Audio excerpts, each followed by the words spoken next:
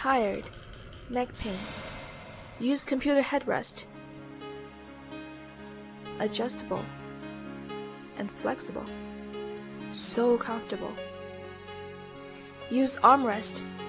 Soft bristless with a skating surface, gliding on desk. You can do anything.